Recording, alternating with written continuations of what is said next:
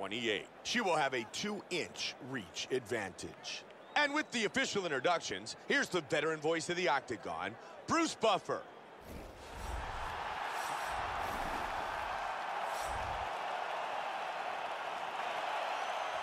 Claudia Gadelha. Ready? Joanna Jędrzejczyk. Here we go. Fight scheduled for three five-minute rounds.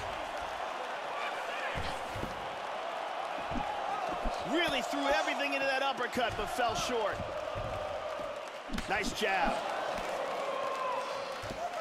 That punch was blocked. Straight punch.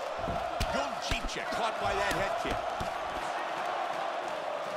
Gadelha with a solid leg kick. Welcome to the jungle.